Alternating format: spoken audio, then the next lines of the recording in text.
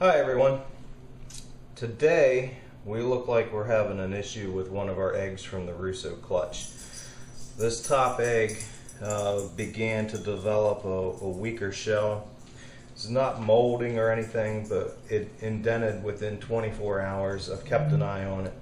It looks like it's spreading and uh, I need to do something. And we've read uh, online about a, a neat little fix. Now, granted, this egg is pretty large for the area that needs to be treated, but what I want to do is I want to take some of this Elmer's glue, same as uh, children would use, and I'm going to put this on the shell to keep seepage from happening.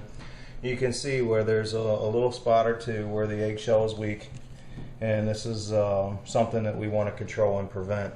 Um, I'm not so sure that there's really any other issues. The rest of these eggs seem to be pretty good. I'm going to go ahead and turn the light off and candle at this time, make sure we got veins. The last time I checked was a few days ago, and we still did have uh, we still did have veins. So it looks like everything else is going good in here. So far, so good. But we can tell that there's quite an extensive amount of this egg that's going to need to be going to need to be covered.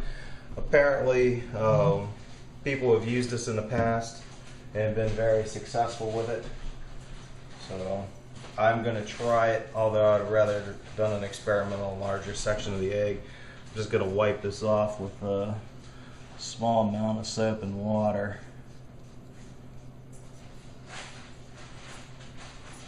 try to do the best we can. And then I'll rinse it with water and we'll try to let it dry.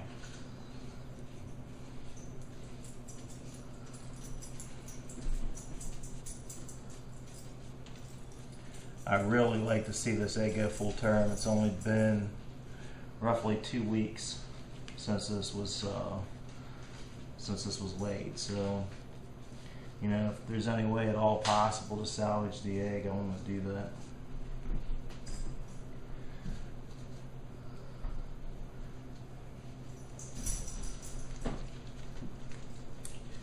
I am pretty curious as to how well this will work on the egg and keep it from seeping.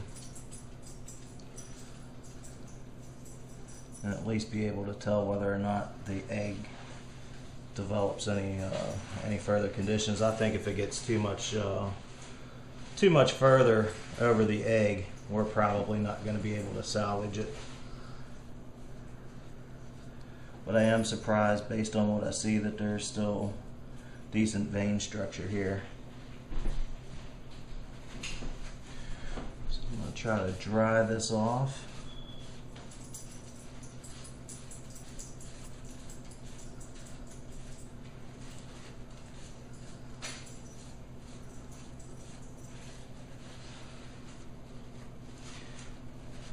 nice if we could find one that had a little smaller window that we were having an issue with and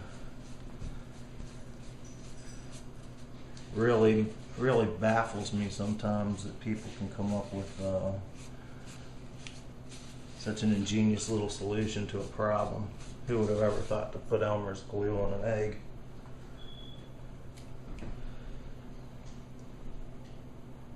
blow on it here a little bit and make sure it's all dry. So hopefully when this Elmer's dries, it'll provide a little bit more of a protective barrier.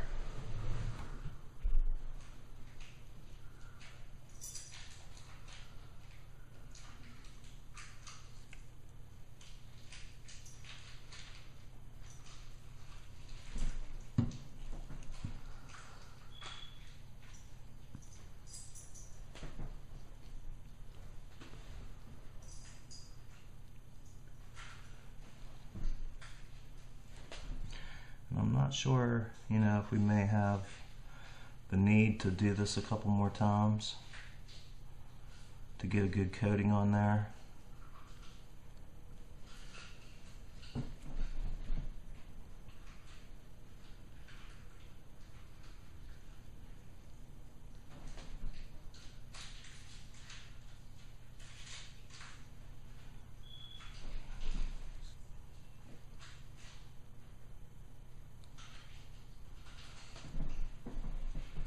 Think a lot of the spots that have had just a little bit of seepage are covered pretty good.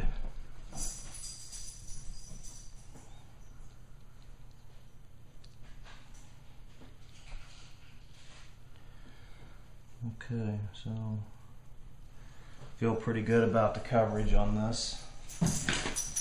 Got a little dab here and there on on another egg, but that shouldn't hurt it. So I'm gonna go ahead and let this sit out, dry for a little bit. And once it dries, I'm gonna go ahead and place these eggs back in the incubator. And then I will start checking every couple days to see how this is going. And I will update the video as needed.